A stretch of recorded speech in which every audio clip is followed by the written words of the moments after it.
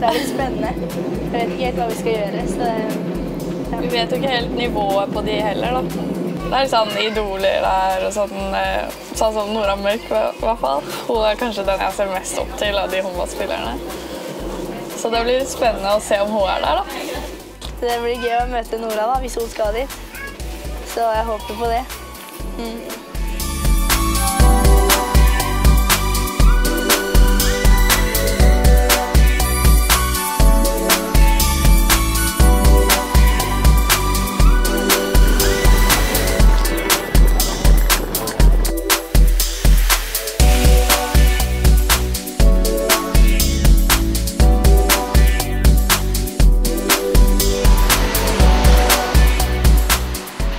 jeg blir spent.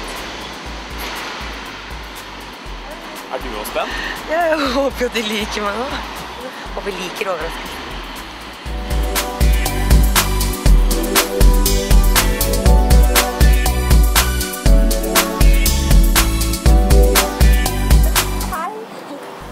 Oh! Velkommen til Larvik håndballskole. Hører rykter om at det kanskje er favorittskolen. Ja! Velkommen og følge dere til skolen.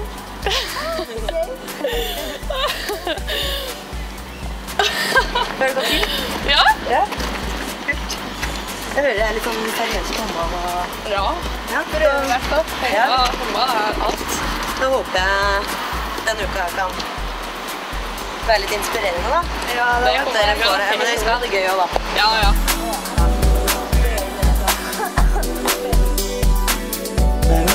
Skjelver. Ja, jeg ble, jeg ble nervøs. Jeg bare mm, Nå kommer de! Kan du skjerpe meg, liksom? så gøy. Ja. Jeg må ta et bilde. Ja.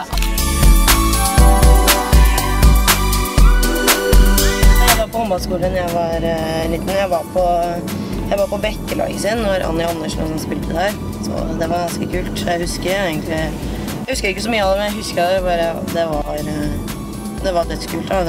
jeg tror liksom at eh, det blir en veldig bra opplevelse alt sammen. For vi skal jo Hele poenget her er jo at ja, vi skal jo trene håndball og lære bort, men vi skal jo være mest mulig sammen med, med deltakerne òg, da. Så det blir en sånn ja, kommer sikkert til å bli lei meg etter en uke. Liksom. Jeg det er Nora og jeg Gro og og snakke litt med de og sånn, da.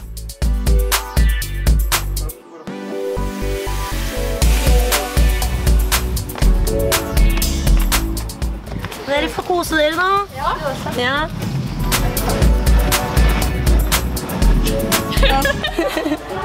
Ja, det Det var var noe av det beste som kunne ha skjedd. da. Ja. ja, det var gøy. Ja, det er ikke, det er ikke det hele tatt. Bare så ansiktet hennes og bare Å, aldri trodde at det der skulle skje.